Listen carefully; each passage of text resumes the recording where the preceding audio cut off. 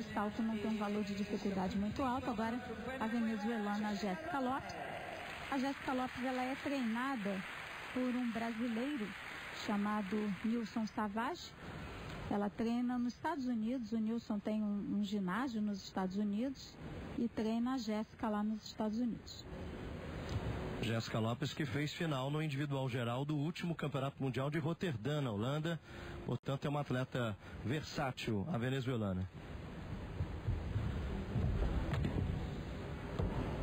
Apresentou também o mesmo salto, uma rondada flip-flop e uma pirueta.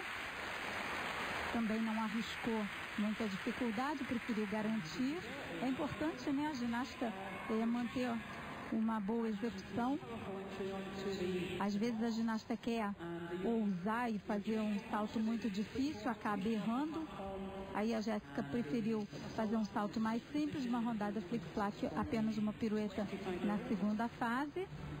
Mas teve uma boa execução.